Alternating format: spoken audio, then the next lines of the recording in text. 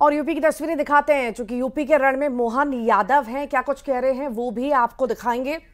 अभी पूरे देश के अंदर खास करके जिस प्रकार का समय चल रहा है, गर्मी अपना काम बता रही है और हमारे अपने इस चुनाव में जनता का मन जो बना हुआ है, मुझे इस बात की प्रसन्नता है। भगवान राम की धरती, भगवान श्री कृष्ण की धरती इस पवित्र भूमि उत्तर प्रदेश में आकर के आपसे मिलके जो आनंद आता है, वो कहीं और नहीं आता, इतना आनंद आता। कितना अच्छा भाग्य हमारा। और ये बलिया जिला तो और भाग्यशाली है। बलिया की इस धरती पर माता गंगा भी आशीर्वाद दे रही है और माता सरयू का आशीर्वाद भी आपको मिलता है। कितने अलग प्रकार के भौगोलिक कारण से कई जन्मों के पुण्य के बाद हमारा यहाँ से रिश्ता आता होगा।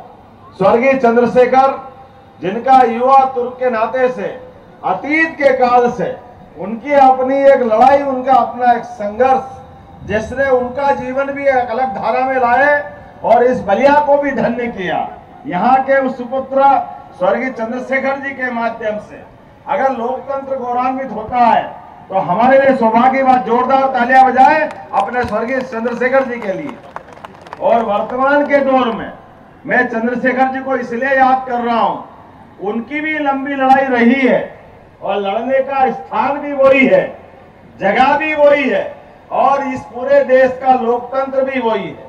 20-25 परिवार जिन्होंने पूरे देश के अंदर एक तरह से अपनी ठेकेदारी बता दी।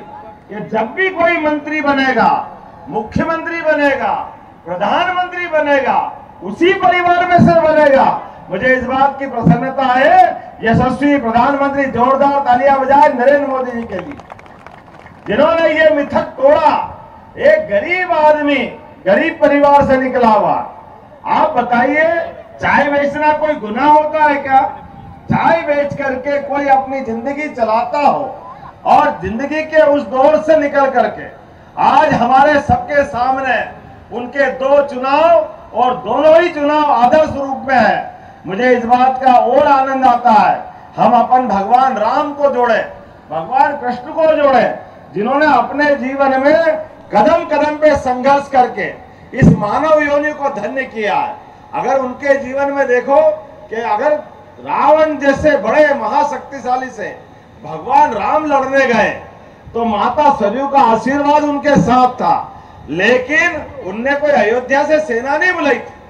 उन्होंने अपने इसी प्रकार के समाज के सभी वर्गों का साथ लेकर के उस घमंडिया रावण को, जिसके घमंड से ऐसा कहते हैं कि जो घमंडी होता, वो किस मुँह से बोलता मालूम नहीं। तो एक कल्पना ये भी कर सकते हैं कि दस दस मुँह से बोलने वाले, ये घमंडियों की बात का, जवान का भरोसा नहीं रहता है। ये कभी क्या बोलेंगे, कभी क्या बोलेंगे, ये कुछ भी बोलेंगे। और लोग दुनिया इनको मान लेगी, लेकिन कर्म कैसे करते हैं? कर्म उस समय भी उनने वही किए। इतनी बड़ी समृद्धि लेकर के पैदा होने वाला व्यक्ति, जिसकी पूरी लंका सोने की थी, जिसके जीवन काल में कोई कमी नहीं थी। कमी तो वही थी जो नियत की कमी है।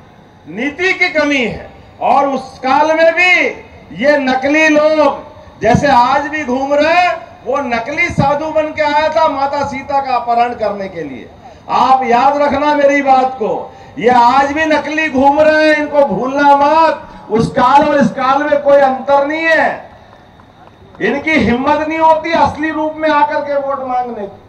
वो उस समय भी गलती कर दी समाज के माध्यम से माता सीता ने। कि लक्ष्मण रेखा खींची थी भाई लक्ष्मण ने। कि माता से कहा था, माता, इस रेखा के बाहर मत आना। लेकिन समाज भोला होता है। ऐसी सीता माता भी भोली थी। वो झांसे में आ गई।